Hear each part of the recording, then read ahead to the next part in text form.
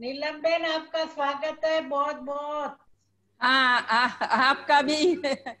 बहुत बहुत धन्यवाद दीदी आपका बहुत बहुत इस बड़ौदा की बगिया में दिल से स्वागत है स्वागत है।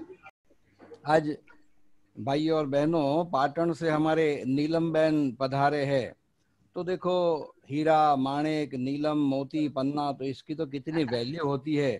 तो बाबा के ये विशेष रतन अर्थात नीलम बहन और वो भी कहाँ से? पाटन से पधारे। तो बहुत पुराना एक गीत याद आ गया। पाटन थी ढोला जीरे पाटन थी पटोड़ा मोंघा मारे माटे लावजो रे। तो पाटन से तिलकराज भाई समझ में आता है? गुजराती है। तो ढोला जीरे पाटन थी पटोड़ा मोंघा मारे मारे माटे लावजो रे। तो पाटन के पहले से सबका ध्यान है। कि भाई हम्म। पाटन में कुछ मिलता है लेकिन अभी जो ज्ञान रतन पाटन में नीलम बहन के द्वारा परमात्मा जो बांट रहे हैं इसकी विशेषता का क्या कहना तो बाबा की बगिया के अति महत्वपूर्ण फूल कहो खुशबूदार या रतन कहो ऐसे आदरणीय नीलम बहन जी का इस बगिया में बहुत बहुत स्वागत है स्वागत है स्वागत है प्यारे साथियों काफ़ी अनुभवी वक्त आज हमारे साथ है तो वो अनुभव की लेन देन आज चलने वाली है तो हमारे लिए विशेष एक घंटा भी और इसमें फिर भी छह मिनट चले गए तो ये घाटे का सौदा न हो जाए। इसलिए ज़्यादा कुछ न कह के नीलम बहन जी से अनुरोध है आप अभी अपने अनुभव हमसे शेयर करें। हम्म। और पाटन भक्ति मार्ग में भी मशहूर है शायद इसीलिए ही मशहूर है। जी। हम्म, हम्म, हाँ बिल्कुल। पाटन का क्योंकि गुजरात की राजधानी रही है ना पाटन? जी। और ऐतिहासिक नगरी है राम की वाह रानी की वाव है पाटन में। प्राण की वाह है ना? हाँ यूनिवर्सिटी भी है उत्तर गुजरात। एजुकेशन का भी बहुत अच्छा है। आप सभी बहुत सभी बहनों के अनुभव रख रहे हैं। हमको भी मालूम पड़ा, हमने भी, हम सुनते भी रहते हैं बीच बीच में।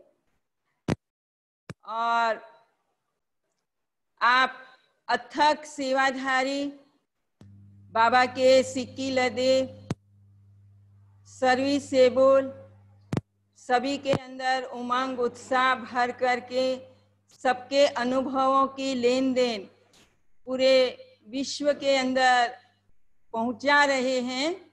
ऐसे डॉक्टर जयंत भाई चंपाबेन और आपके साथी जो भी सब इस सेवा के अंदर बिज़ी हैं, मैं उन सब का बहुत बहुत स्वागत, धन्यवाद और थैंक्स दे रही हूँ कि सचमुच में बाबा के जो भी बच्चे जिस भी स्थान पर हैं कैसे अपनी गुप्त सेवाएँ दे रहे हैं? तो उन सेवाओं को, उनके अनुभवों को सबके साथ शेयर करने की ये जो आपने जुम्बेश चालू की है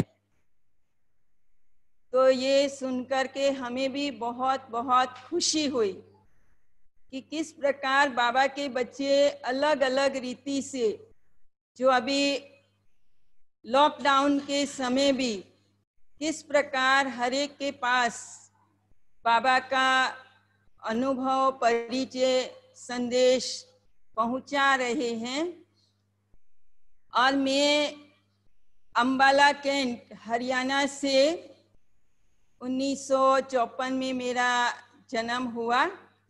लगभग तीन चार साल की आयु में ही 1958 से माता पिता के साथ बाबा के घर जाना हुआ और बाबा की, मम्मा की, दादी, दीदियों की बचपन से बहुत पालना और प्यार पाया।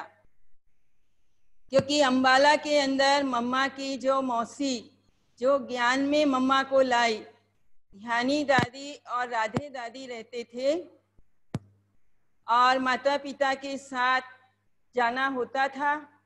हम छोटी थे, परंतु पहले से, बचपन से एक बाबा के घर के प्रति बहुत आकर्षण रहा।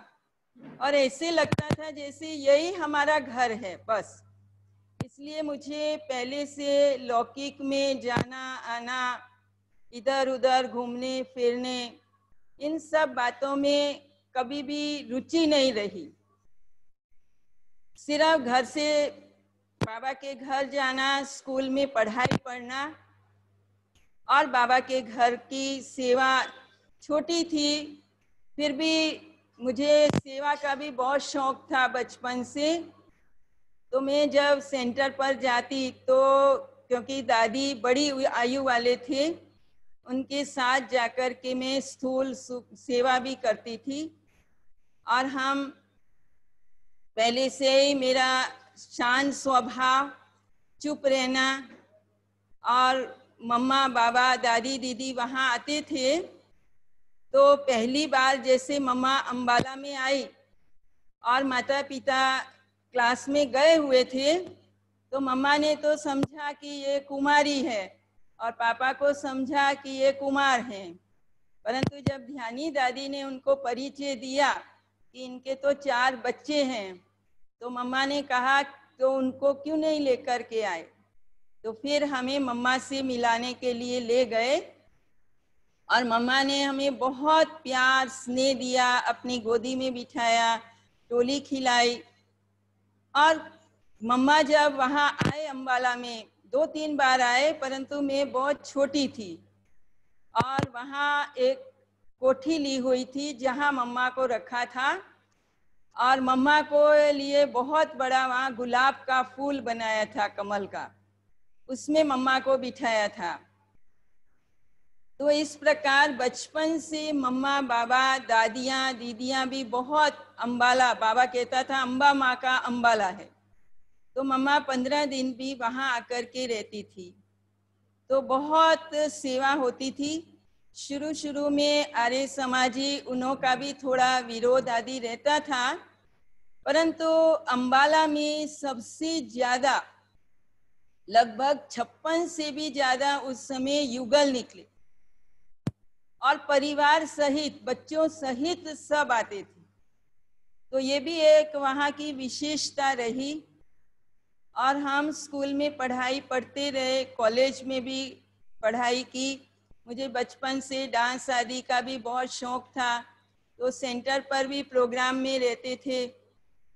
और स्कूल, कॉलेज में भी मैं भाग लेती थी।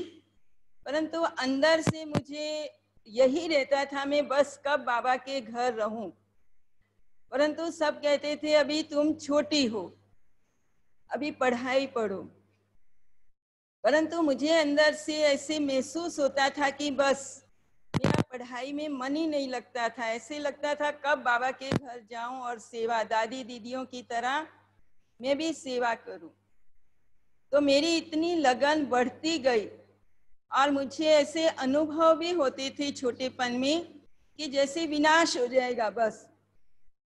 और क्या हम घर में ही रह जाएँगे? मैं बाबा की सेवा नहीं कर सकूँगी। ऐसे ऐसे बहुत विचार आते थे।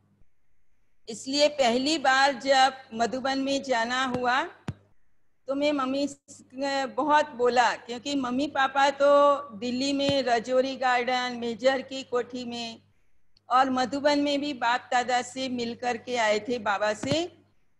और मम्मा ने, बाबा को ने भी मम्मा, हमारी माता पिता को कहा था कि मैंने आपको अपनी एक बच्ची दी हुई है, आप क्यों चिंता करते हो? और हम चारों भाई बहन जाते थे और मुझे देखकर ध्यानी दादी ने कहा कि ये हमारे यज्ञ की गई हुई आत्मा और मुझे भी ऐसा ही महसूस होता था। और सभी आते थे, कहते थे, हम इसको ले जाएँगे। और इसको देखते हैं तो जैसे बाबा की याद आती है। तो इस प्रकार से बचपन में कोई बाहरी मोह, शौक, फ़ैशन आदि करना पिक्चर आदि देखना, कोई किताबें बाहर की पढ़ना, वो कुछ भी मैंने कभी नहीं किया। और बचपन से मैंने कभी बाहर का खाना क्या होता है, वो भी कभी टेस्ट नहीं किया। लौकिक परिवार वालों को भी पता चल गया था कि ये माना वहाँ चली जाएगी। वो मम्मी पापा को थोड़ा बोलते थे कि आप तो गए, इन बच्चों को भी ले गए। तो मम्मी कहती थी, आप इनसे ही पूछ लो। मैंने कोई इनको ज़बरदस्ती नहीं किया है। ये अपनी रुचि से, अपनी खुशी से जाती है। तो मैं भी जवाब दे देती थी, जो मुझे आता था कि भाई, देखो, आप घर में बहन लड़कियों को रखते हो। ऐसे भी तो शादी करके बाहर भेज देते हो। तो मुझे ये आध्यात्मिक सेवा करने का जो चांस है और मम्मी कहते थे कि देखो, हम तो नहीं, चलो बन सके। बाद में हमें लेट ज्ञान मिला। परंतु अगर इसकी रुचि है तो मैं इसको कभी मना नहीं करूँगी। और लौकिक माता पिता का भी इतना सबके ऊपर प्रभाव था, जो वो सब भी उनको बहुत मान देते थे। और कभी भी विरोध नहीं किया। और मैं कभी भी कहा लौकिक में भी जाती थी, वो कुछ भी देते थे तो मैं हाथ में छिपा करके ले आती थी, खाती नहीं थी। फिर बाजू में आकर पड़ोसी के बच्चों आदि को दे देती थी। तो धीरे उन्हें भी पता चल गया तो वो मेरे को फिर फ्रूट देते थे। तो इस प्रकार लौकिक परिवार का भी बहुत सहयोग मिला। और अलौकिक परिवार की भी बहुत पालना मिली। मैं ज़्यादा लौकिक में नहीं गई। अलौकिक परिवार के जो भाई बहन थे, उनके घर आना जाना होता था। और बचपन से बिल्कुल जैसे एकदम न्यारा प्यारा और बचपन कैसे बीता पता भी नहीं चला। इतना सहज, सरल रीति से। और फिर मधुबन में जब सेवेंटी वन में जाना हुआ तो मैं बहुत रोई। मम्मी को बोला कि, बाबा थे, तब क्यों नहीं हमें ले गए? परंतु जब हम मधुबन में गए तो दादी दीदी ने इतनी हमें प्यार और पालना दी, जो मैं उसका वर्णन भी नहीं कर सकती। ऐसे महसूस ही नहीं होने दिया कि मैं बाबा से नहीं मिली। हम इतने छोटे होते भी दीदी ने अंगूर के बगीचे में बाबा की झोपड़ी है, वहाँ हमें पिकनिक कराई। हमारे साथ बातें की, हँसी खुडी भी की सब, जोक आदि सुने। माना कहने का मतलब कि दादी दीदी ने इतना प्यार और पालना दी, ऐसी भाषणा दी जो ऐसे महसूस ही नहीं हुआ, ऐसे लगा जैसे मैं बाबा से मिली हूँ। और फिर सब कहते थे, अभी छोटी हो, पढ़ाई करके आओ। फिर आना। परंतु मेरी दिल ऐसी थी, मुझे होता था, कब टाइम मिले और मैं बस, बाबा के घर चली जाऊँ।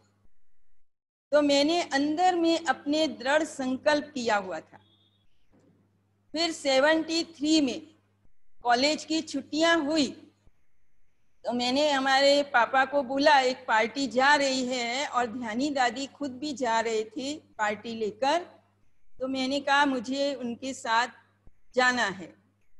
तो उन्होंने मुझे हाँ कर दिया और मुझे रिटर्न टिकट लेकर के दिया था। परंतु मैंने अंदर में दृढ़ निश्चय किया था कि मैं जाऊँगी तो अब वापस नहीं आऊँगी। क्योंकि मुझे कई बार ऐसे ऐसे स्वप्न भी आते थे।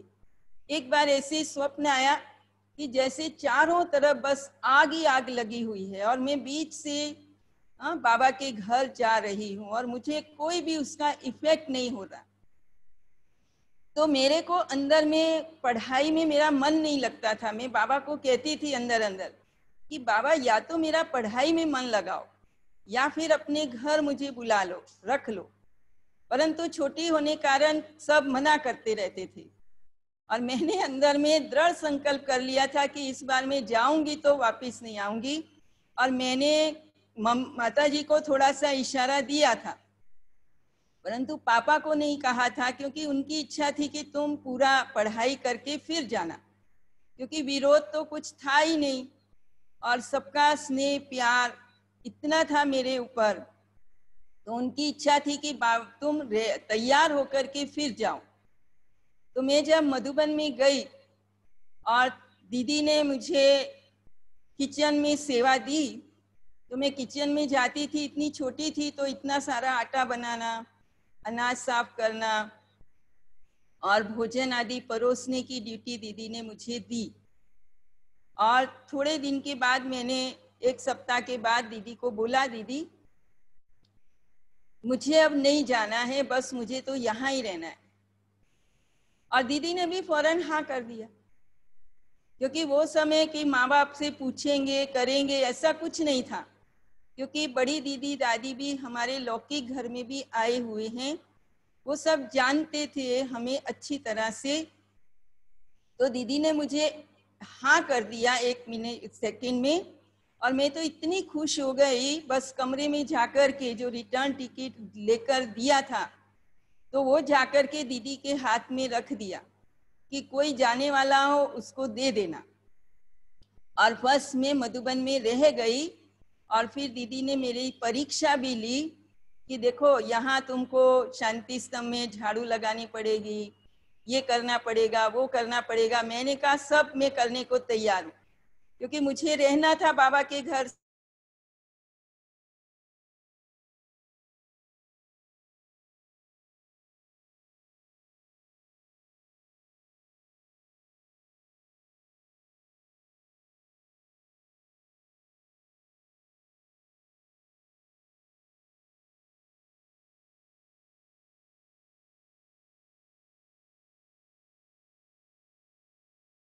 सवेरे किचन में सेवा करती थी और शाम को दीदी ने मेरा प्रोग्राम म्यूज़ियम में सेवा करने का लगा दिया।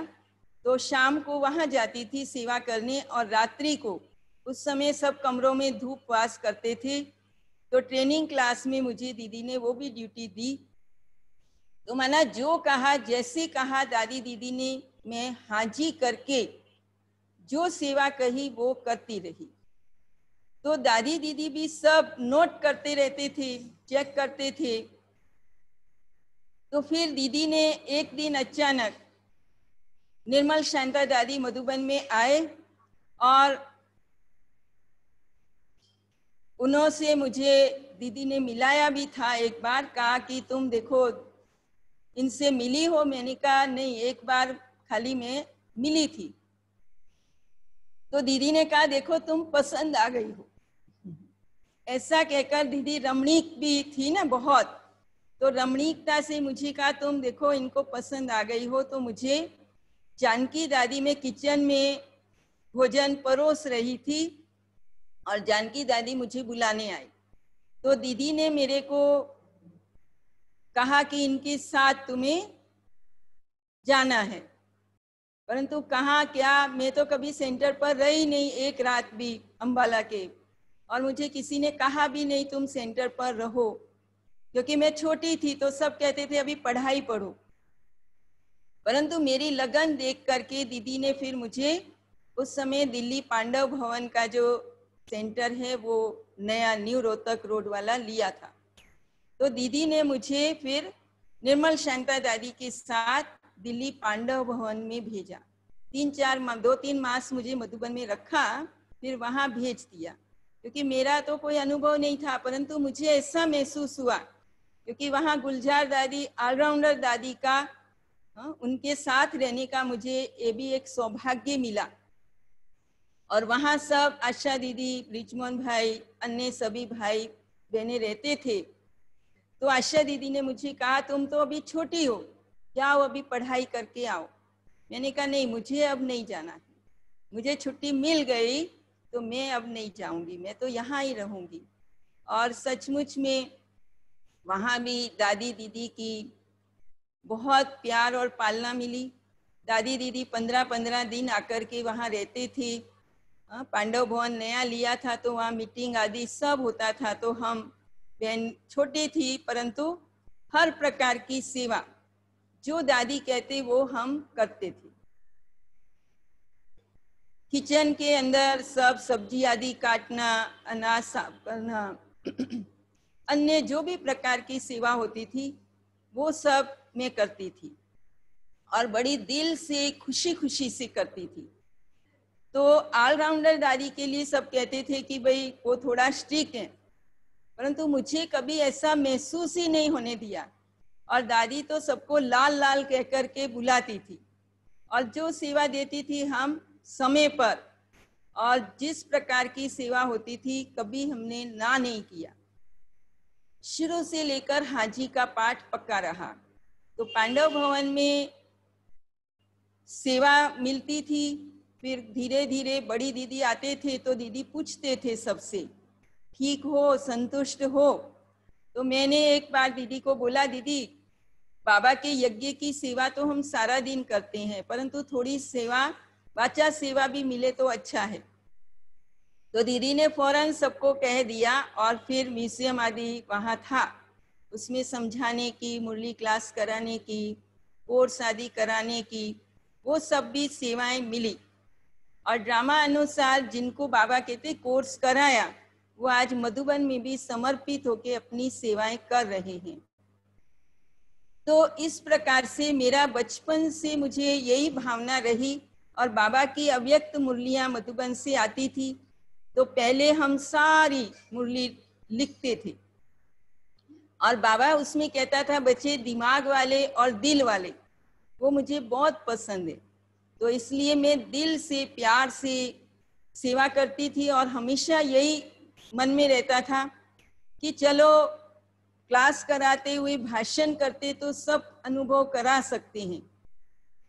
परंतु यज्ञ सेवा करते करते भी किसी को अनुभव कराना, वो भी बड़ी सेवा है। तो ऐसे समझ के दिल से और उस समय 73 में बड़ा मेला भी हुआ, पहला जो फ़र्स्ट मेला। उस समय हम वहाँ ही थे तो सभी सीनियर भाई बहन भी आते थे, रमेश भाई सब, रिजमो सब देखते थे। इतनी छोटी छोटी बहनें और इतना बड़ा बड़ा कार्य करती हैं। हम एक एक हज़ार रोटी उस समय बनाते थे। और इतने सब भाई बहन आते थे कभी कभी रात को देरी तक भी सारा काम चलता था तो 12 बजे उठ करके भी हम भोजन आदि बनाने की सेवा करती थी।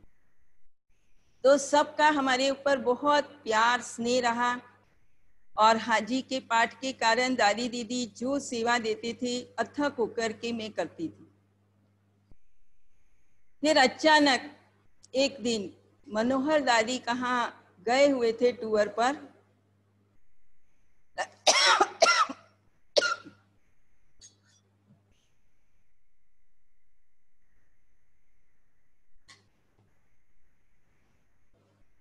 तो टूर पर वहाँ गए हुए थे। तो अच्छा मैं ही हाँ जैसे ही वो पांडव भवन में आए और मैं ही सामने उन्हें मिली। तो उन्होंने मेरा हाथ पकड़ करके अंदर ले गए और फिर मुझे कहा, तुझे मेरे साथ चलना है। एक घंटे का ही टाइम था। तो सब सोच में पड़ गए, कहा, वो कुछ भी मैंने नहीं पूछा। दादी ने मुझे कहा और फिर ऑलराउंडर दादी, सबको पता चला, ब्रिजमोहन भाई तो सबने मना किया कि हम अपनी इन बहनों को कहा नहीं भेजेंगे। दादी ने कहा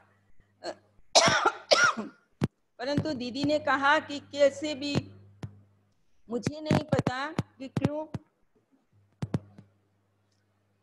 मुझे नहीं पता कि हाँ मुझे तो दीदी ने बोला है और मुझे इनको लेकर जाना है, बस। और मैंने भी, दादी ने मुझे बोला, थोड़े ही कपड़े लेकर के तुम जाओ। तो मैं फिर मनोहर दादी के साथ, मुझे भी पता नहीं था कहाँ जाना है? मैंने सोचा शायद मधुबन में ले जा रहे हैं, परंतु उन्होंने फिर मुझे अजमेर में भी नया सेंटर लिया था, बाबा का उस समय स्थान। तो वहाँ पर मेरी पालू दादी रहती थी तो पालू दादी के साथ और चंद्राबेन जो अभी पटना में है, उनके साथ रहने का सौभाग्य मिला। और फिर ट्रेन में आते जाते दीदी दादी जाते थे तो हम स्टेशन पर भोजन लेके जाते थे। तो उस दिन मैं नहीं गई तो दीदी ने पूछा, क्यों नीलू नहीं आई है? परंतु तो बताया कि उसकी तबीयत ठीक नहीं है, क्योंकि वास्तव में मुझे वापिस फिर गुलजार दादी का भी फ़ोन आया था, समाचार कि तुम्हें वापिस जाना है दिल्ली।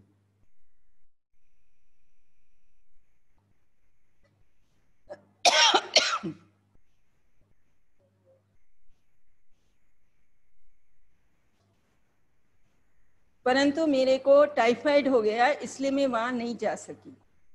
परंतु वहाँ भी मेरी बहुत अच्छी दीदी ने कहा इसकी ध्यान रखना, क्योंकि मैं छोटी थी। फिर ड्रामा अनुसार मुझे मधुबन में बुला लिया दीदी ने। ठीक हो जाए तब मधुबन में आ जाना। तो मैं मधुबन में गई और फिर दीदी ने मुझे तीन, दो तीन मास, क्योंकि बाबा की सीज़न थी उस समय तो मुझे वहाँ रखा मधुबन में। और सला बहन मुझे जानती थी, क्योंकि वो भी थोड़ा समय पांडव भवन में रही थी। उनको पता चला कि नीलू बहन यहाँ आई है और उस समय गुजरात में नई नई सेवाएँ शुरू हुई थी। तो उन्होंने थोड़ा दादी को बोला कि हमें हैंड्स चाहिए। तो फिर ड्रामा अनुसार मेरा प्रोग्राम यहाँ गुजरात में आने का बना। मैंने कभी गुजराती भाषा तो सुनी ही नहीं, पता ही नहीं था क्या होती है। परंतु बाबा को यहाँ सेवा करानी थी। तो फिर बाबा ने मुझे यहाँ महसाना में भेजा और हमारा तो कहा ना, हाजी का पाठ पक्का था।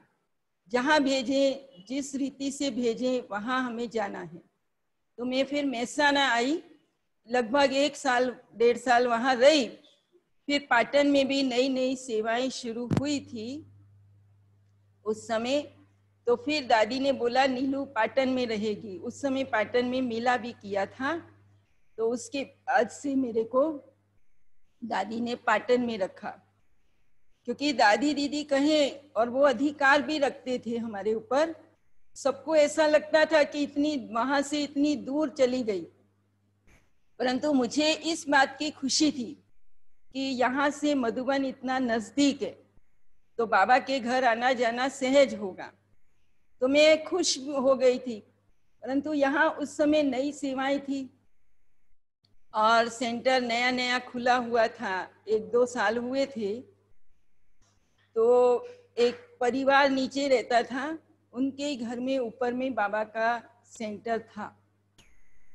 एक ही कमरा था उसमें खाना, पीना, सोना सब था और एक थोड़े चालीस, पचास भाई बहन बैठ सके, एक हॉल था। तो वहाँ पर भी, देखो, दीदी दादी भेजते थे कहाँ भी, परंतु साथ में हमारा इतना ध्यान भी रखते थे, हमारी उन्नति कैसे हो। हम आगे बढ़ी, हर प्रकार की हमारी पालना, प्यार, दीदी दादी, उस बातों का भी बहुत ख्याल रखते थे। ऐसे ही नहीं कि भेज दिया, बस। तो जब मैं यहाँ आई तो उस समय अभी भाई बहन भी थोड़े आते थे और उस समय आप सबको पता है कि यज्ञ में, शुरुआत में किस प्रकार से धन का सहयोग भी इतना नहीं था, परंतु धीरे धीरे बाबा ने भेजा है और बाबा की सेवा करनी है, वो लक्ष्य रख कर के मैं बाबा के यज्ञ की सेवा करती थी। और खुश रहती थी। और बड़ी दीदी ने कहा था कि तुम फुलवाड़ी तैयार करो, सेवा करो, मैं आऊँगी ज़रूर। तो सचमुच में दीदी ने वायदा पूरा किया। भले सेंटर छोटा था, एक ही कमरा था। और दीदी के आने के बाद सचमुच में पाटन सेंटर की बहुत उन्नति हुई। दीदी आए, दीदी कमरे में बैठे, क्योंकि उस समय तो कुर्सी, टेबल कुछ भी नहीं थे साधन। तो खटिया पर ही दीदी को बिठाया। तो दीदी की तो नज़र बहुत तेज थी। दीदी ने चारों ओर देखा और सब भाई बहन चले गए थे। दो, थोड़े से भाई बहन रहे थे। उनको बुलाया कि इधर बुलाओ मुझे कहा मैंने बुलाया। तो दीदी ने उनको बोला कि अरे यहाँ इतने अच्छे अच्छे भाई बहन आते हैं और बहनों को कुछ हाँ फैसिलिटी नहीं करते हैं सब। तो तब उन्हों को ख्याल आया। क्योंकि मेरे को तो पता ही नहीं था। अचानक सेंटर पर अकेले रख दिया। कभी मैं रही नहीं, मुझे कुछ पता ही नहीं था कि सेंटर में कैसे रहना, कैसे सेंटर चलाना आदि होता है उस समय। परंतु हिम्मत, बाबा कहते हिम्मत है मर्दे, मददा खुदा। तो एक हिम्मत का कदम आप बढ़ाओ तो बाबा हज़ार भुजाओं से हमारी मदद करने के लिए तैयार रहता है। तो सचमुच में मुझे बाप बाबा की भी इतनी मदद और इतनी ताकत, शक्ति मिली। एक माता जी फिर मेरे साथ रहती थी, परंतु वो सर्विस में जाती थी। सवेरे छः बजे, कभी नौ बजे चली जाती थी। मैं सारा दिन अकेली रहती थी। परंतु नीचे जो परिवार रहते थे, उनके बच्चे छोटे छोटे थे, वो मेरे पास आ जाते थे। और गुजराती भाषा तो कभी सुनी ही नहीं थी। तो धीरे धीरे बाबा की सेवा हमने शुरू की, क्योंकि अव्यक्त बाप दादा से मिलते थे, पहले तो बाबा एक एक से अलग अलग मिलते थे। और मुझे ये भी एक सौभाग्य मिला, जब मैं पहली बार मधुबन में आई, तब बाबा बाबा के कमरे में आते थे। और जब जाने का समय था तो बड़ी दीदी ने मुझे बाबा के बाजू में गद्दी पर बिठा दिया और कहा, तुम भी बाबा के साथ वतन में चली जाना। तो इस प्रकार से भी मुझे दादी दीदी ने बहुत मधुबन में अपने साथ भोजन आदि खिलाना, इस प्रकार की भी सब प्रकार की पालना दी। जो लौकिक घर कभी याद ही ना आए। मैं जब दिल्ली में मुझे भेजा तो छह मास के बाद दीदी ने मुझे कहा, तुम अपने लौकिक घर पे जाके आओ। तो मैं एक सप्ताह के लिए गई और फिर वापस आ गई। तो लौकिक परिवार से भी मुझे इतना प्यार, स्नेह मिला और सहयोग मिला, जो कभी भी उन्होंने मुझे अपनी ओर खींचा नहीं। और मेरी उन्नति हो और मैं बाबा के घर में रह कर के सेवाएँ करूँ, उनको भी यही बहुत खुशी होती थी। फिर जब मैं गुजरात में आई और वो मधुबन में आए माता पिता तो बड़ी दीदी ने उनको सामने से कहा कि तुम जाओ वहाँ नीलम के पास गुजरात में। देख करके तो आओ कि वो क्या सेवाएँ, कैसे सेवाएँ कर रही है। तो मैंने इस प्रकार दादी दीदी के कहने पर वो फिर मेरे से मिलने भी आए। तो इस प्रकार दादी दीदी ने हमको भेजा। तो धीरे धीरे फिर हमने यहाँ सेवाएँ भी शुरू की और बाप दादा से जब मिले तो भाइयों भाई बहनों ने बात की, बाबा को कहा कि, बाबा, हम क्या करें सेवा के लिए? तो बाबा ने कहा, बच्चे, कोई हर्जा नहीं। एक गाँव में जाओ, वहाँ नहीं तो दूसरे गाँव में, तीसरे में जाओ। तो सचमुच में हमने भी हिम्मत करके, अकेले अकेले जाकर के गाँव गाँव में कभी गए नहीं, देखा ही नहीं गाँव, कहें तो भी चलेगा। तो बाबा ने सेवा कराई, हिम्मत दी तो हम गाँव गाँव में जाकर के वहाँ के सरपंच से मिलते, वहाँ के स्कूल के प्रिंसिपल से मिलते कोई नई स्थान मिलता तो मंदिर में जाकर के वहाँ उनको मिल करके इस प्रकार से सेवाएँ शुरू की। पाटन ज़िले में लगभग डेढ़ सौ गाँव हैं। कोई भी गाँव ऐसा नहीं होगा जहाँ हम नहीं गए हों। और धीरे धीरे हमने सेवाएँ शुरू की और कोई भी ऐसा साधन नहीं होगा मैं कहूँगी। कोई ऊँट गाड़ी हो बैलगाड़ी हो आ? हाँ, कोई भी माना ट्रक में भी ट्रैक्टर में आ, मेटाडोर में अलग अलग रीति से साधनों में भी जाकर के कितनी बार तो ऐसा होता था कोई गाँव में जाते थे बस जाती थी वापिस आने का कोई ठिकाना नहीं होता था।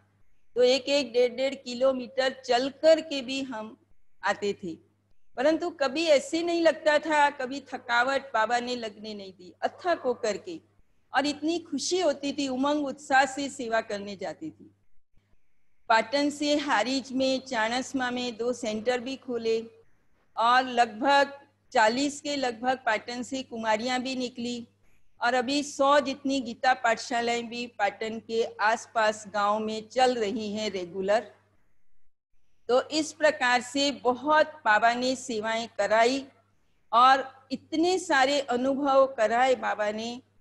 जो बात मत पूछो आ, सुनाने बैठे तो पूरा एक किताब बन जाए। एक बार जैसे दिल्ली पांडव भवन में उस समय शुरू में बड़ी बड़ी अंगीठी जैसे मधुबन में जलाते थे तो वहाँ भी बड़ी बड़ी अंगीठी जलती थी। तो एक बार एक भाई अंगीठी पर कुकर रख करके चला गया और सीटी नहीं लगाई। तो वहाँ जो माता जी रहते थे भंडारे में मैं आई तो मुझे कहा कि तुम उठा करके इसको यहाँ बाजू में रख दो। नहीं तो दाल जल जाएगी। तो वहाँ तो बड़ा कुकर होता। तो जैसे ही मैंने कुकर उठा के नीचे रखा तो मेरा हाथ थोड़ा सा साइड में लग गया तो उसके कारण ढक्कन खुल गया। और जैसे ढक्कन खुला तो सारी जो उसकी बाप थी मेरे ऊपर आ गई। और एकदम मेरे मुख से निकला ड्रामा। और बाबा की याद आई। फिर तो सबको पता चला, सब भाग दौड़ करने लगे ऑलराउंडर दादी थे, ब्रिजमोहन भाई सभी आ गए। और मुझे पता नहीं, बाबा ने जैसे टच किया कि नींबू का रस लगाओ। सब कहने लगे, ये लगाओ, वो लगाओ, आपको जलन होगी। मैंने कहा, नहीं, कुछ भी हो, वो नहीं लगाना। मेरी आँखें तो खुल नहीं रही थी, मुझे तो कुछ दिखाई नहीं दे रहा था उस समय। तो उन्होंने मैंने कहा, नहीं, नींबू का रस ही लगाओ। और नींबू का रस लगाया फिर मुझे डॉक्टर के पास भी ले गए। तो उसने दो दिन की दवाई दी और बर्नोल ट्यूब उस समय लगाने को दी। कोई भी मेरा फेस देखे तो उसको डर लगे और सबको संकल्प चलते थे कि अरे, इसका मुँह कैसा हो जाएगा अगर। परंतु बाबा ने देखो, मुझे एक भी संकल्प नहीं आने दिया। क्या हो जाएगा, कैसा लगेगा, कैसा मेरा मुँह हो जाएगा। तो सब कहने लगे कि इसको ना आईना नहीं देखने देना। मैंने कहा, मैंने तो देख लिया। मना कहने का मतलब मुझे बाबा की इतनी मदद बचपन से मिली और ताकत, शक्ति मिली। जो पंद्रह दिन के बाद कोई देखे तो ऐसे उसको पता ही ना चले कि कुछ हुआ था। अपने आप धीरे धीरे सारी ऊपर की चमड़ी निकल गई और जैसा था वैसा हो गया। और उस समय तो परिवार छोटा था तो मधुबन में भी दादी दीदी सबको पता चल गया था। गुलजार दादी सब। तो वहाँ ही थे मधुबन में। और मैं गई, निर्मल शांता दादी भी उस समय मधुबन में ही थे वहाँ। तो उन्हों भी किसने, एक बहन ने बताया कि इसको ऐसा हुआ। तो दादी कहने लगे कि किसी और की बात कर रही हो जैसे। हा? तो ऐसे दिखाई नहीं देता है। तो कहने का मतलब ऐसे तो बहुत सारे अनुभव। अगर हम शेयर करने बैठे तो इतने सारे अनुभव हैं, क्योंकि लगभग 50 साल से बाबा के घर में रहने का सौभाग्य जो मिला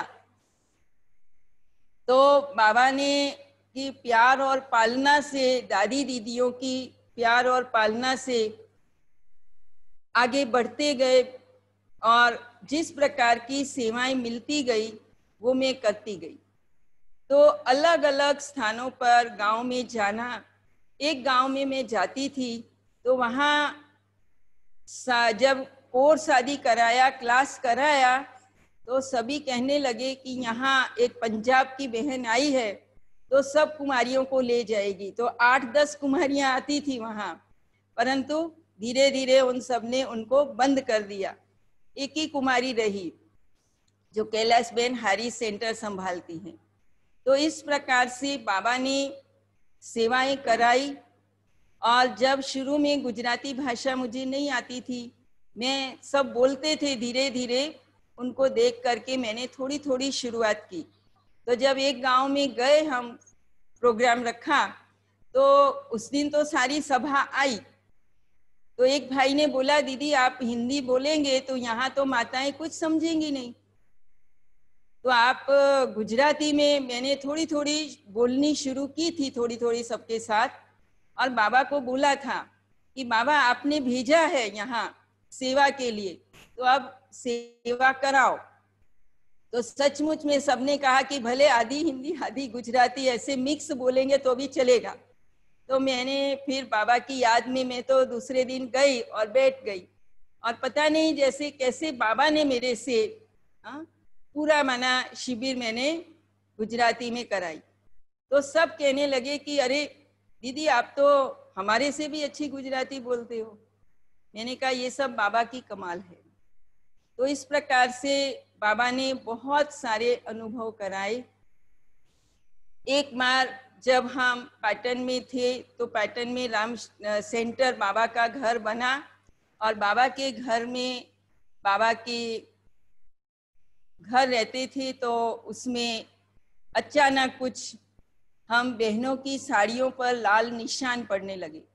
तो सब हम देखते थे कि ये क्या हो रहा है। हमने किसी को बात नहीं की। थोड़े दिन होते थे, फिर अपने आप खत्म हो जाते थे और फिर बंद बैग में भी निशान पड़ते रहते थे। तो एक भाई आते थे, उनसे थोड़ी सी मैंने बात की कि ये क्या हो रहा है। तो वो भाई ने कोई उसका जानकार होगा तो उससे बात की तो उसने कहा कि किसी ने इन बहनों के ऊपर कोई प्रयोग किया है, जिसके कारण ये हो रहा है। परंतु बहनों की जो पवित्रता और शक्ति है, योग का बल है, उसके कारण नहीं तो ये कोई दूसरा हो तो उनके शरीर पर इसका असर हो। परंतु ये साड़ी पर ही होता है। तो इसलिए फिर एक बार ऐसा हुआ, जब निशान पड़े हुए थे और मुझे मधुबन में जाना हुआ। मीटिंग थी पांडव भवन में तो मैंने फिर दादी से बात की कि, दादी, ऐसे ऐसे है। तो दादी ने कहा अच्छा ठीक है नीलू, तुम शाम को साड़ी लेकर के आना मेरे कमरे में। फिर मैं शाम को गई दादी के पास और मैंने दादी को दिखाया तो दादी भी एकदम देखकर आश्चर्य की ये क्या? फिर दादी ने दो मिनट बाबा को याद करके फिर मुझे बोला कि, नीलो, तुम जाकर के पाँच दिन अखंड योग भट्टी करो। तो हमने ऐसा ही किया आकर के और वो दिन और आज दिन फिर कभी भी वो निशान नहीं पड़े और एकदम खत्म हो गए। तो इस प्रकार से जैसे बाबा की मदद, बाबा की ताकत गाँव गाँव में हम जाते थे तो वहाँ भी देखो बसों में जाते थे अप डाउन करते थे। तो कई लोग पूछते थे कि आपको कितनी पे मिलती है? हम कहते थे, हमें इतनी मिलती है जो किसी को नहीं मिलती। हम बता नहीं सकते हैं आपको। और वो लोग कहते थे कि हमारे गाँव में, मना, हम तो अप डाउन करते हैं तो थक जाते हैं। और आप बहनें रोज इतनी अप डाउन करती हो। तो हम कहते थे, बाबा की ताकत, शक्ति मिलती है हमें। और कितनी बार ऐसा होता था, हम जाते थे तो कभी कभी फ़ौरन बस मिल जाती थी। और कभी कभी तो एक एक दो दो घंटा भी हमें बस स्टैंड पर खड़े रहना पड़ता था। तो मैं सोचती थी हमेशा कि आज बाबा में, हमारे से तपस्या करा रहा है। और जो बस स्टैंड में सब भाई बहन जहाँ वो हैं, उनको हम योगदान करते थे, बाबा की याद सकाश देती थी। तो इस प्रकार से बहुत बाबा ने हमारे से सेवा भी कराई और बहुत अच्छे अनुभव कराए और पाटन के अंदर मीडिया की, एजुकेशन की, स्कूलों में भी जब टच टच लाइट का प्रोग्राम चला तो हमने आठ स्कूलों के अंदर प्रोग्राम किए। चार साल तक लगभग उसको चालू रखा। फिर कॉलेज यूनिवर्सिटी में भी यहाँ प्रोग्राम मिलते रहते हैं और मीडिया की भी पाटन के अंदर लगभग सात पेपर डेली निकलते हैं। और सब में हर सतगुरुवार को बाबा का परिचय संदेश आता है। और आर्टिकल सब बाबा के हम त्योहार के अनुसार भी उनका आध्यात्मिक रहस्य भी भेजते हैं। और मधुबन में भी जितनी कॉन्फ्रेंस होती हैं, उसके समाचार भी पाटन के पेपर में हम डालते हैं। और मेरे को बहुत संकल्प आता था, जैसे जानकी दादी, पूर्वज और पूज्य उन दोनों को हमेशा याद करते रहते हैं।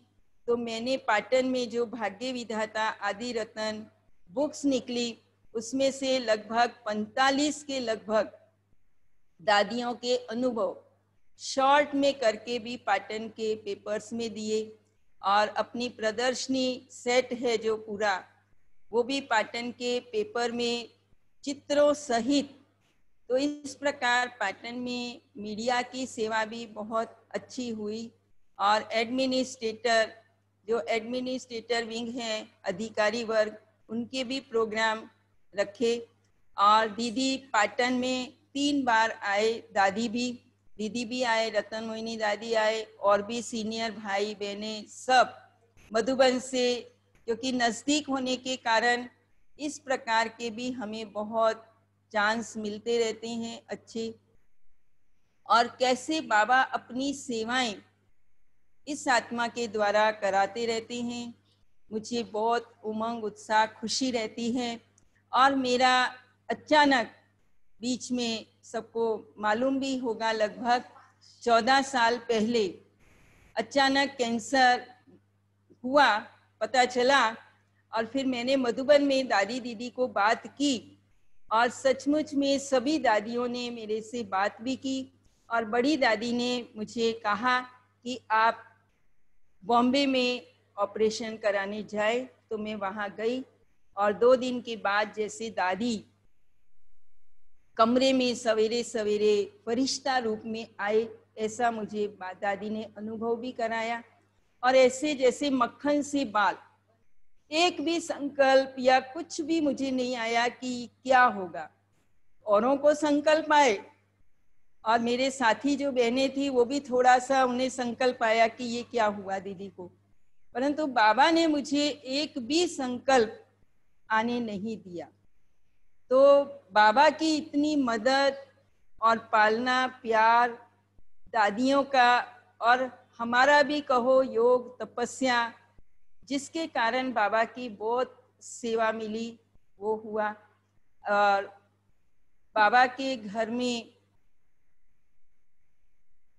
बाबा हमेशा आगे आगे जैसे सदा साथ रहता है मेरे। कहाँ भी जाते हैं तो पहले बाबा को आगे करके कोई भी प्रोग्राम होता है, कोई भी कार्यक्रम होता है तो मैं बाबा को पहले कहती हूँ कि बाबा ये करना है, यहाँ जाना है तो बीमारी आदि का भी बड़ा पेपर आया और उसको भी बाबा ने कैसे सरल और सहज रीति से पार करा दिया। तो बहुत मना कितने अनुभव ऐसे हैं। मैं कितने सुनाऊं, कितने नहीं सुनाऊं, ऐसा है।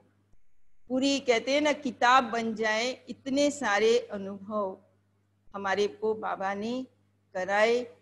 प्रैक्टिकल जीवन में और अभी भी बाबा कराता रहता है। पाटन के अंदर बाबा ने एक बच्चे को टच किया और उन्होंने अपना स्थान दिया बाबा का बड़ा भवन बनाने के लिए, बाबा की सेवा के लिए। तो ये सब बाबा कैसे अपने बच्चों से करा रहा है? और कराता रहता है और कराता रहेगा। और पेपर भी बहुत आए। हाँ। हर प्रकार के सामने सामने सब बोलने भी आते, करते थे तो भी बाबा की इतनी मदद और शक्ति, ताकत मिलती थी और जो उसका हम सामना करके आगे बढ़ते रहे। तो बाबा ने क्या नहीं कराया और क्या नहीं दिया? इतना प्यार पालना स्नेह। हम्म, और बचपन से हमारी जो दिनचर्या भी अमृत वेले उठना फिर मुरली क्लास और नियमित रेगुलर और अभी जो लॉकडाउन हुआ उसमें भी हमने उसका पूरा लाभ लिया। शाम को सवेरे भी हम क्लास करते थे सभी आपस में बहनों को बिठा करके रोज ज्ञान का मनन चिंतन करना मुरली रिवाइज करना और शाम को चार से आठ बजे तक बाबा के कमरे में बैठकर और थोड़ा समय हमने हॉल में कि ताकि यहाँ का वातावरण भी ऐसा शक्तिशाली पावरफुल बना रहे तो उसके लिए बैठ करके योग तपस्या भी की और सभी बहनों को रोज बिठा करके हम ज्ञान चर्चा भी करते रहते हैं। और अव्यक्त वाणियों का भी अभ्यास 69 से लेकर के चालू है। हमने सब बहनों के साथ रिवाइज भी किया और ये लॉकडाउन हुआ तो हमें संकल्प आया। तो मैंने 69 से लेकर के 2017 तक लगभग 108 अव्यक्त मुरलियों का साथ जिसमें तीन चार तीन चार मुरलियाँ आ जाती हैं। इस प्रकार से रिकॉर्डिंग भी कराई। इसमें भी एक बाबा ने अपने बच्चे को भेजा और उन्होंने कहा कि हम आपको ये सेवा देंगे। तो मुझे भी खुशी हुई और उमंग आया। तो हमने फिर रिकॉर्डिंग करके भी बाबा के महावाक्य हाँ, सबको मिले। यूट्यूब पर उन्होंने रिकॉर्डिंग करके हर रोज एक मुरली भेजती हैं। तो इस प्रकार बाबा कैसे अपनी कार्य कराता है, मदद कराता है। पाटन में जैसे हमने बताया, एक कमरे का मकान था, लगभग दस साल हम उसमें रहे। और उसके बाद बाबा ने दूसरा सेंटर दिलवाया और उत्तर गुजरात में कहेंगे, पहला ही बाबा का अपना अपना मना सेंटर सब जगह किराए आदि उस पर थे, परंतु पाटन में बाबा ने ये भी एक सेवा कराई। तो इस प्रकार से फिर जैसे जैसे सेवाएँ बढ़ती गई तो बाबा इस प्रकार से हमें मदद बाबा की मिलती रही। और पाटन से जैसे चाणसमा में, हारीज में भी दो सेवा केंद्र खुले, और अभी कुणगेर और बालिसना में उप सेवा केंद्र हैं। तो इस प्रकार बाबा अपनी सेवाएँ कराते रहते हैं पूरे राजस्थान में और कहाँ इधर उधर जो भी बहनें पाटन से निकली, वो भी अपनी समर्पित रूप से अपनी सेवाएँ सब जगह कर रही हैं। तो बाबा ने ये भी एक मुझे कहो चांस दिया। शुरू में मुझे महसूस होता था जब मैं दिल्ली पांडव भवन से मुझे इधर भेजा। तो मुझे महसूस होता था कि अरे, बड़ों के साथ, हम दादी के साथ रहते थे तो हमें इतनी दूर और अकेले भेज दिया। परंतु मुझे फिर अपने आप बाबा की मुरलियों से मुझे, मैं प्रेरणा लेती थी और अपने आप को ठीक करती थी, कोई संकल्प विकल्प नहीं चलाती थी। मैं समझती थी कि बाबा को मेरे द्वारा अनेक आत्माओं की सेवा करानी होगी। इसलिए बाबा ने मुझे वहाँ से यहाँ भेजा है। तो हिम्मत रख कर के आगे बढ़ती रही और बाबा की मदद एक नई पदम गुना मिलती रही। और मेरे को पहले से, बचपन से मेरा शांत रहने का, चुप रहने का स्वभाव और जितना हो सके बाबा की याद, योग तपस्या ज़्यादा से ज़्यादा करने का और वर्तमान समय तो विशेष पुरुषार्थ यही चलता है कि साइलेंस में कैसे रह करके और अनेक आत्माओं की सेवा हो, उनको योगदान मिले, शुभ भावना और शुभ कामनाएँ हर रोज देते रहते हैं और कई भाई बहन अनुभव भी करते हैं।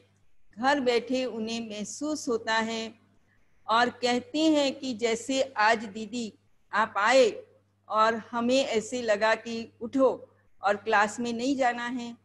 इस प्रकार के भी अनुभव कई भाई बहनों को होते हैं और मेरा शुरू से मुरलियाँ, चाहे साकार, चाहे अव्यक्त, मुरलियों के प्रति विशेष रहता है अभ्यास और मैं नोट्स भी लेती हूँ साथ साथ वो भी मेरे पास मैंने इतनी ढेर सारी मेरी शायद डायरियाँ भरी होंगी। और हर रोज मैं बाबा के वरदान, स्लोगन, वो सब भी लिखती हूँ रेगुलर और स्वमान भी लिखती हूँ। और इस प्रकार से अपनी स्व उन्नति और सेवा का दोनों का बैलेंस रख कर के जीवन में सदा आगे बढ़ती। तो मैं यही कहूँगी कि हर एक भाई बहन भी बाबा की मुरलियाँ, जितना उसका हम गहराई से अभ्यास करेंगे, चिंतन करेंगे तो हमारी वो स्थिति बनेगी जो हम कितने से बड़ी से बड़ी परिस्थिति हमारे सामने आए। चाहे कोई के संस्कार, स्वभाव का टक्कर भी हो, अथवा शारीरिक कोई कर्म भोग, बीमारी आदि भी आ जाए तो उससे हम सहज रीति से कैसे पार हो सकते हैं। ऐसे छोटे छोटे तो कई दो तीन ऑपरेशन भी मेरे हुए, परंतु बाबा की मदद और दादी दीदियों का इतना प्यार पालना मधुबन में जब जाते, दादी दीदी, जानकी दादी, कहो चाहे दादी, सब इतना प्यार पालना देते। अगर कोई कारण से थोड़ा एक दिन लेट भी हो जाए तो देख लेते तो सामने से दीदी दादी बुलाते कि क्यों नहीं हमें मिलने आए। तो हम कहते दादी, आप बिज़ी थे, इसलिए हम नहीं आए. तो इस प्रकार जब मेरा ऑपरेशन के बाद, थोड़े समय के बाद जब मैं मधुबन में गई तो बाबा से मिलकर के हम सवेरे निकल रहे थे और वहाँ से जानकी दादी चक्कर लगाने जा रहे थे। तो अचानक मुझे देखा कहा नीलू, जा रही हो? मैंने कहा हाँ दादी। तो कहा, क्यों अभी इतनी जल्दी जा रही हो? मैंने कहा, यह जो भाई साथ में आए हैं, उनको ड्यूटी पर जाना है इसलिए। तो कहा, अभी मेरे कमरे में आओ। तो दादी ने मुझे कहा, तुम मेरे कमरे में आओ और मिल करके फिर जाना। तो मैं दादी के कमरे में गई, जानकी दादी के पास, और जानकी दादी ने मुझे दृष्टि दी और पूरे मेरे शरीर पर ऐसे हाथ घुमा दिया। तो जैसे कहने का मतलब हाँ बीमारी जैसे भाग गई। मुझे भी अभी सब याद दिलाते हैं, तब मुझे याद आता है, नहीं तो मेरे को कभी याद भी नहीं आता है कि मुझे इस प्रकार की कोई बीमारी हुई थी। जब ऑपरेशन के बाद भी दूसरे दिन डॉक्टर बनारसी भाई मेरे से मिलने आए तो मुझे कहने लगे कि आपको पता है आपका इतना, कितना बड़ा ऑपरेशन हुआ है? मैंने कहा हाँ मुझे मालूम है, परंतु उसकी कोई महसूसता नहीं हुई। इसलिए मैं कह रही हूँ कि योग बल हमने इतना जो जमा किया है, वो ऐसे समय में हमें काम में आता है। और पंद्रह दिन के बाद जब रिपोर्ट आया तो फिर कहा, कीमो लेना पड़ेगा आपको। तो मेरे साथी जो निधि बहन थी, वो तो थोड़ा सा घबरा गई सुन करके, क्या होगा? क्योंकि डॉक्टर अशोक मेहता ने फटाफट सब बोल दिया एकदम। कि बाल निकल जाएँगे, ऐसे जीप काली हो जाएगी, नाखून शरीर थोड़ा ब्लैक, ऐसा कुछ फटाफट उन्होंने कहा। तो तो थोड़ी घबराई, फिर मैंने उसको समझा दिया। ड्रामा अनुसार मुझे सबको हिम्मत और ताकत देनी पड़ी। हाँ उल्टा होता है ना, जैसे पेशेंट को सब समझाते हैं। उसकी बजाय मुझे सबको समझा करके तैयार करना पड़ता था। और जब इंजेक्शन जब पंद्रह दिन के बाद टेस्ट आया कि इंजेक्शन लेना है तो उस समय भी मुझे ऐसे महसूस हुआ जैसे कोई का लाइट का हाथ हाँ वहाँ है। और सचमुच में ऐसा ही हुआ। दूसरे दिन जब डॉक्टर के पास गई तो डॉक्टर ने पूछा, आपको कोई तकलीफ़ कुछ हुआ? मैंने कहा, नहीं, मेरी स्थिति एकदम नॉर्मल थी जैसे। और उसके बाद, दो दिन के बाद रक्षाबंधन का त्योहार आता था। तो उन्होंने मुझे छुट्टी भी दे दी कि भले आप जाओ और जा सकते हो। तो फिर मैं पाटन आ गई और सभी यहाँ तो सबको पता चला तो सब हाँ ऐसे आँख में हाँ पानी भर कर के और ऐसे सारा हाँ परिवार खड़ा था। हाँ, इंतज़ार कर रहे थे तो मैंने भी सबको दृष्टि दी और बस मना कहने का मतलब मुझे बाबा ने जरा भी उसकी फीलिंग नहीं आने दी। इतनी बाबा की मदद। और दादियों का भी इतना प्यार। फिर बाप दादा से भी मिलना हुआ। अव्यक्त बाप दादा से भी मिले तो बाबा ने भी मुझे इतनी दृष्टि दी, टोली दी।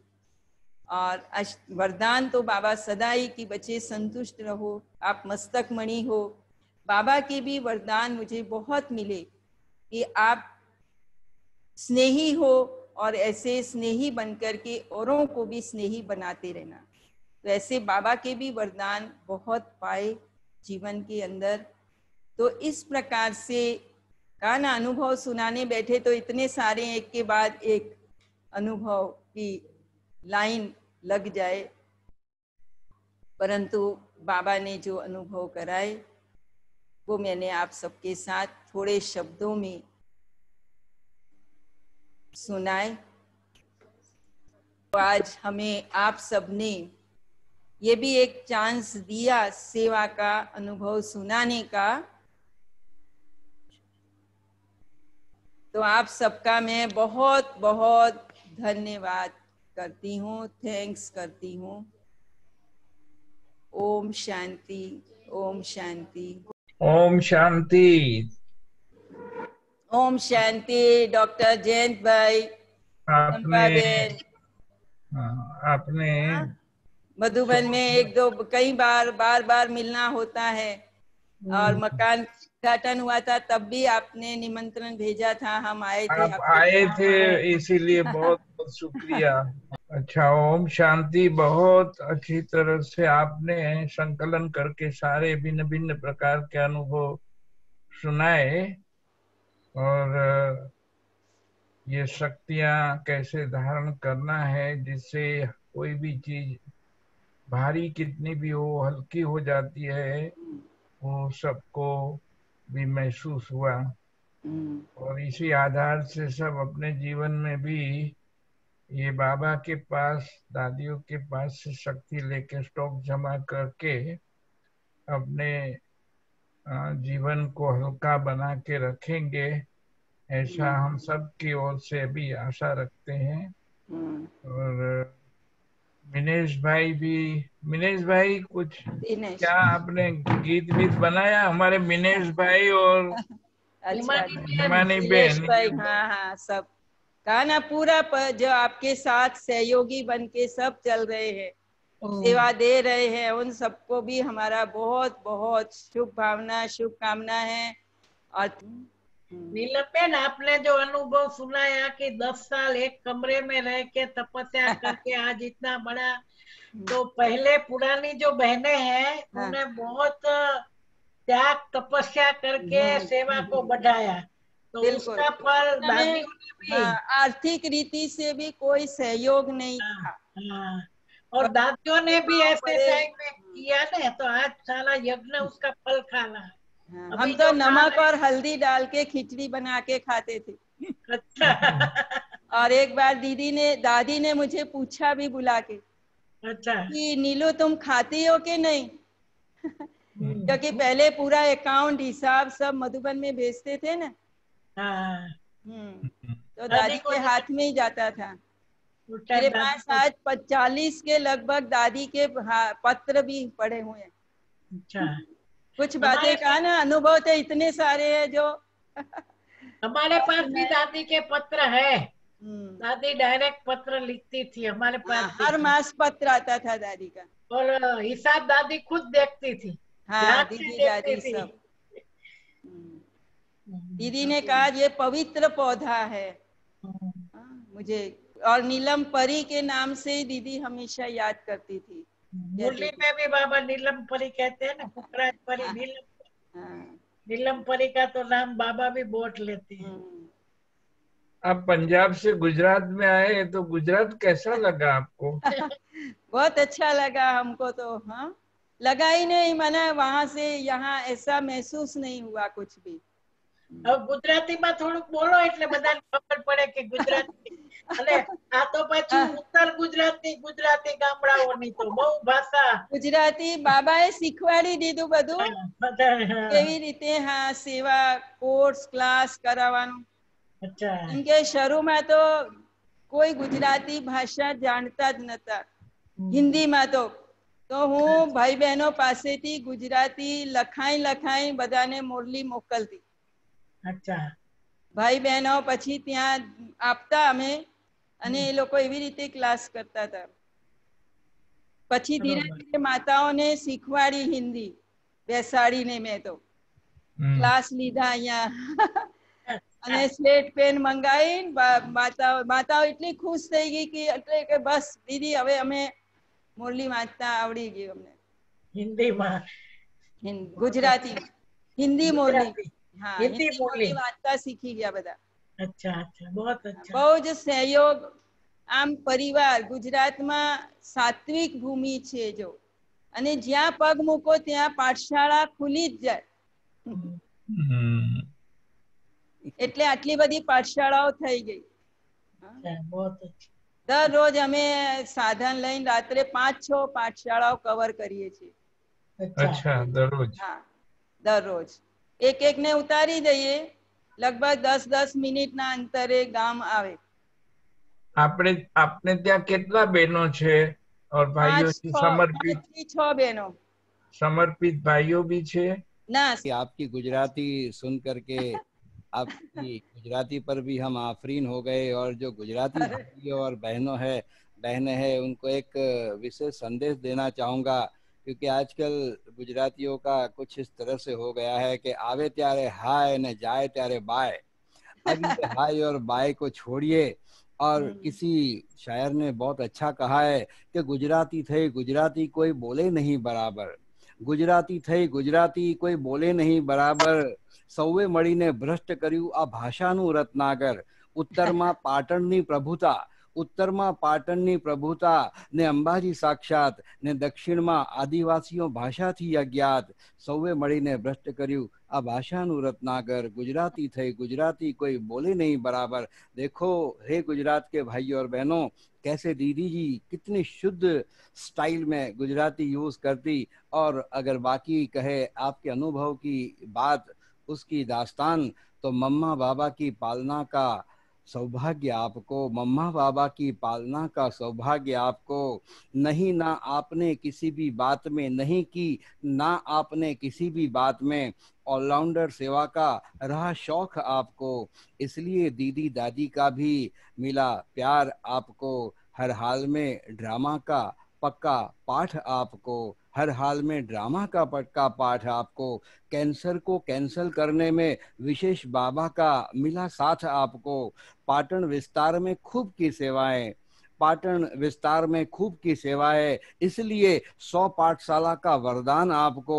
हम बड़ौदा वासियों का दीदी जी सत सत नमन आपको सत सत नमन आपको सत सत नमन आपको। बहुत अच्छा दीदी जी आपको हम धन्यवाद। तो क्या करें? क्या विसात हमारी?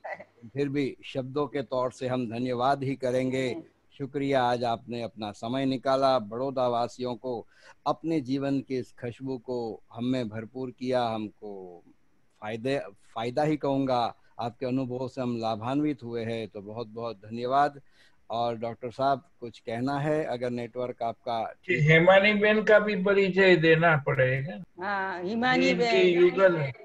हाँ। युगल है वो बहुत बहुत अच्छी सेवा करते हैं। सेवा कर रहे हैं। हाँ।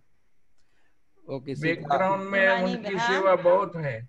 हिमानी बेन हिम बाबा कहते हैं हाँ शिखर ऊँचे शिखर पर चढ़ते हाँ। जाओ बस बाबा का यही हम सबको वरदान है। हेमानी बेन आप बोलना। आप चुप बहुत रहते हो और चुप से सेवा करते हो लेकिन बोलने की भी शुरू करो। ओम शांति दीदी। ओम शांति ओम शांति। मधुबन में तो सबसे मिलते रहते हैं परंतु दूर से। हाँ नज़दीक से यहाँ ऐसे मिलना पहले हाँ, हुआ हाँ, हाँ। कभी आओ पाटन में। ज़रूर आप भी बड़ौदा आओ। हाँ ज़रूर आएँगे।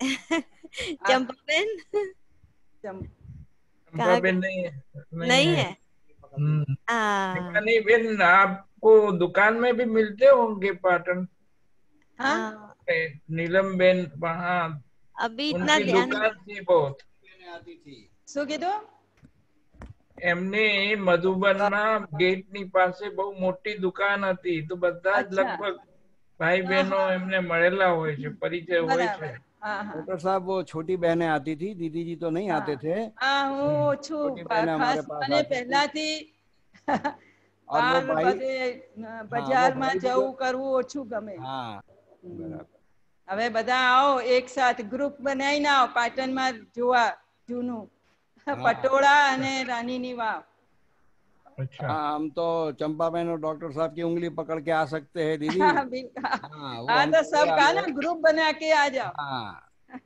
ठीक है हम सब तो तैयार है वो जब लेके जावे हमको। हाँ ज़रूर हम ज़रूर। रेडी वी आर रेडी भाई ठीक है ना भाई और हम आपने हमारा अनुभव सुना हम आप सबके अनुभव सुनेंगे। हाँ। बहुत अच्छा। ओके। चलिए अभी अभी तो अभी तो हम इनकी उंगली पकड़ कर चल रहे हैं। हाँ, हाँ, सब बाबा के बच्चे एक दो के सहयोग से ही चलते हैं ना। हाँ। ये भी है। ये अलौकिक परिवार और अलौकिक संगम युग का कहाँ मिलेगा देख क्योंकि ये प्रोग्राम है ना ऐसे सबके अपॉइंटमेंट लेना सबसे बात हाँ। करना उनको गाइड करना। हम्म, फिर आके जब प्रोग्राम पूरा होता है तो उसको हाँ, फिर पर हाँ, चढ़ाना उसको करेक्ट करना अच्छी तरह से रजुआत करने के लिए वो हाँ, हाँ। सारा दिन इसी में बिज़ी रहते हैं। थोड़ी होते हैं हर कार्य में बाबा कहते समय टाइम एनर्जी हम्म, सब कुछ लगाना पड़ता है ना? और इनका बच्चा भी है फॉरेन में अच्छा, अभी अभी सेवा के लिए खास गया है तो वो भी। बहुत चलो उनको भी बहुत बहुत हमारी शुभकामना आगे बढ़े। Thanks for